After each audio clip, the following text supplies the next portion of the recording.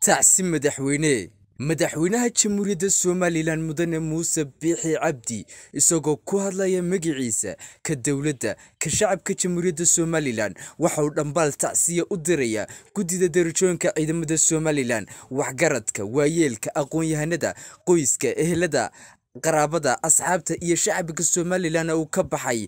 Allah u naxariistay marxuum korneyl xuseen cabdi dubbad oo ku naanaysnaa alifdoon oo ku geeriyooday saakoyno taariikhdu ahayd toddobiyo tobanka bisha sagaalaad labadii kun iyo koob iyo labaatanka caasimada somalilan hargeysa. Madaxweynuhu waxauu marxuumka ku sifeeyey halgamaa ka baxay dalka iyo dadka.